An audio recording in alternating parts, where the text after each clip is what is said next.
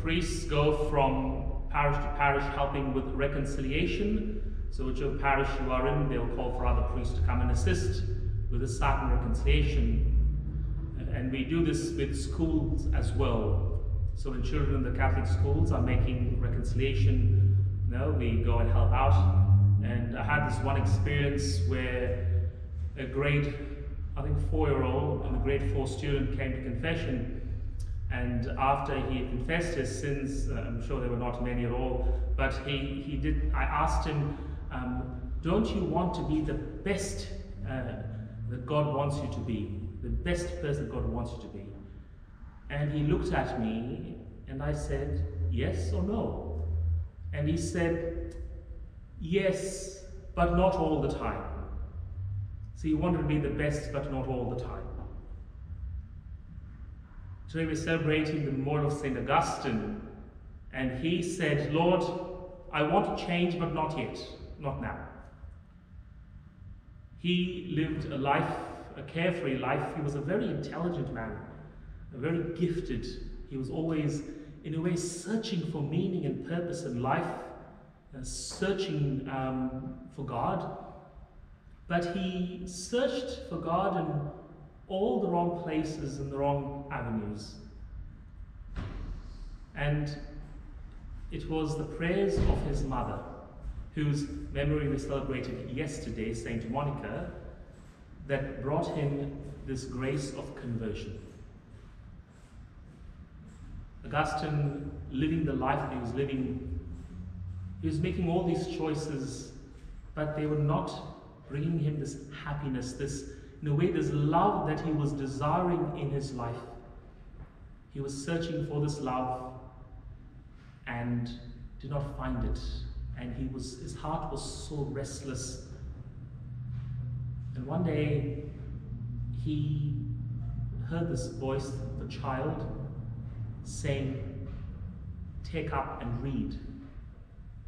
And so he's heard these words as a sign from God, and he picked up uh, the Bible uh, and it was the, cha the chapter of St. Paul, and he read St. Paul. And there, precisely, St. Paul gave him words that enabled him to change his life.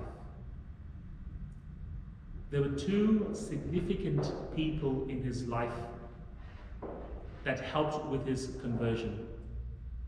The first was his mother. His mother knew him well more than anybody else did. She never gave up on him in all the ways he was living his life. She reached out to God and prayed intensely and fasted for him. St. Augustine struggled with chastity. He had a child uh, outside marriage, and his mother knew of his struggles, and she prayed for him. See, when we're searching for love and we're searching in the wrong places, they do not bring us happiness. They might bring us momentary relief, but they don't bring us happiness. Because ultimate happiness comes only from knowing God.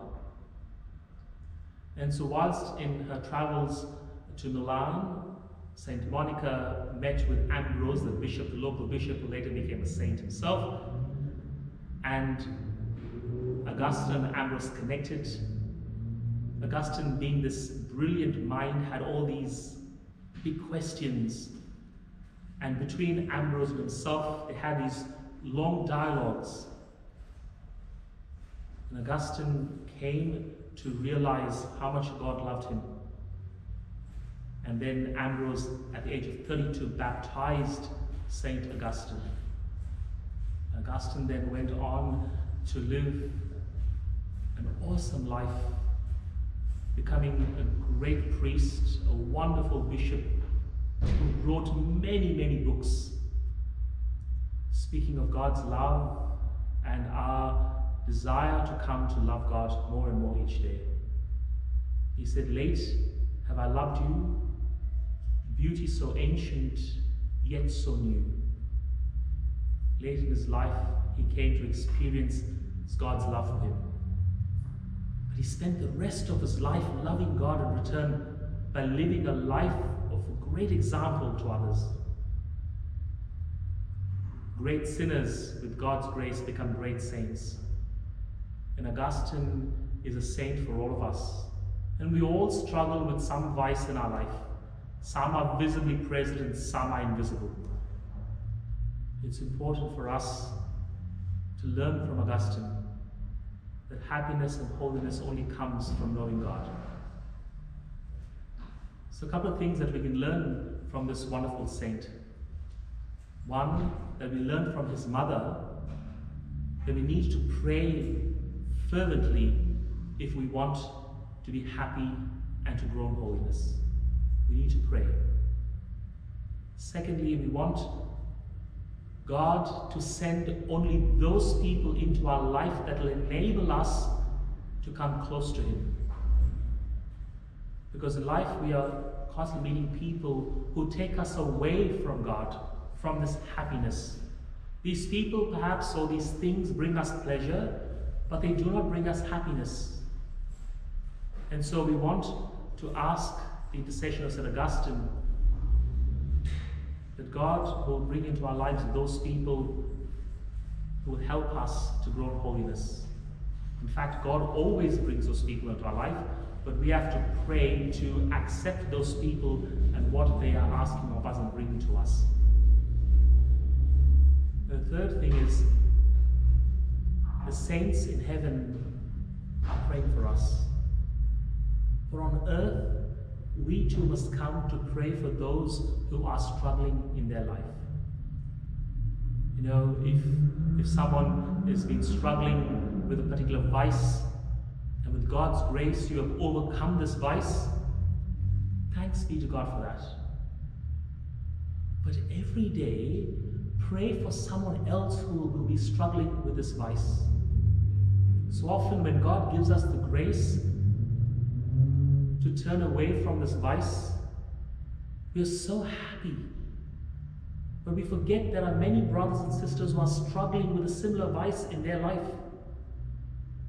So if God has graced you, given you this great gift to overcome this particular vice in your life, then it's important that you pray for those who are struggling with this vice in their life every day.